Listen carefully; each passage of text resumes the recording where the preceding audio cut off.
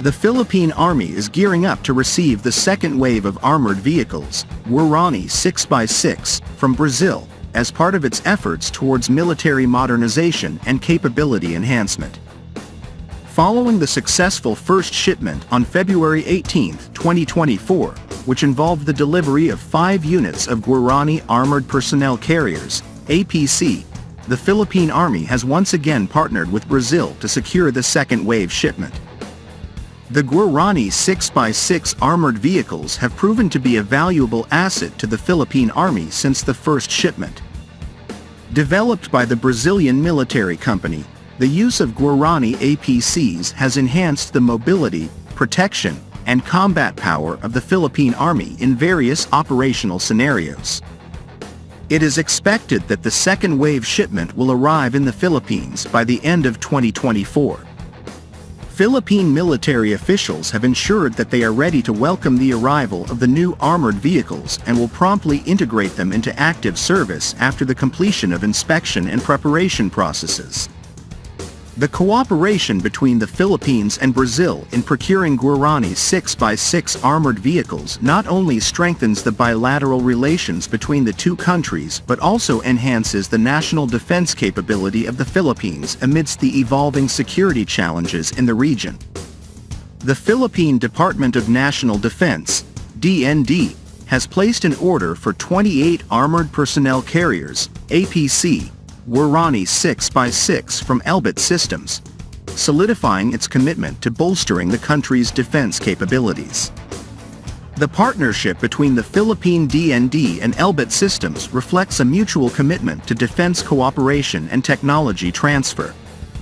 The procurement of Guarani 6x6 APCs represents a strategic investment in strengthening the country's defense infrastructure and safeguarding its national interests. As the geopolitical landscape continues to evolve, the Philippines remains steadfast in its dedication to maintaining peace and stability in the region.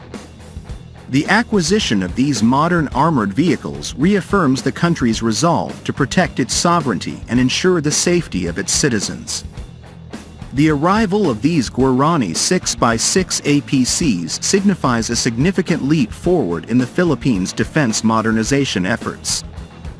With their deployment, the country gains invaluable assets capable of fulfilling a diverse range of roles, including troop transport, reconnaissance, and urban warfare operations. Moreover, the acquisition of the Guarani APCs underscores the Philippines' commitment to bolstering its defense capabilities and safeguarding its national interests.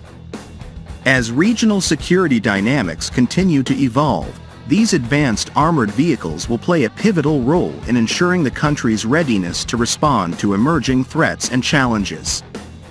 The delivery of the Guarani 6x6 APCs not only strengthens the Philippines' defense capabilities but also deepens the strategic partnership between the Philippines and Brazil. It highlights the mutual commitment of both nations to fostering cooperation in the defense sector and promoting regional stability. As the Philippine military integrates these Guarani APCs into its arsenal, it signals a new era of enhanced readiness and preparedness to tackle the complex security landscape in the Asia-Pacific region. With their arrival, the Guarani 6x6 APCs stand poised to make a lasting impact on the Philippines' defense posture, ensuring the nation's ability to safeguard its sovereignty and protect its citizens effectively. Tecno Defesa reported that these vehicles are part of an initial contract for 28 units destined for the Philippine Army, with an estimated arrival date at their final destination, the Port of Manila, set for mid-December.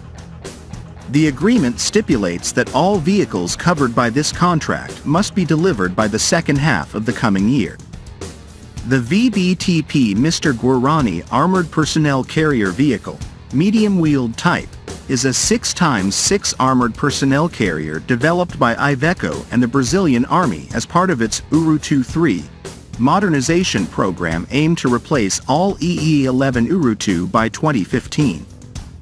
Other Brazilian companies also participated in the program, such as Imbel, Communications, Elbit, Armaments, Usiminas, and Villares, Development of National Ballistic Structural Steel.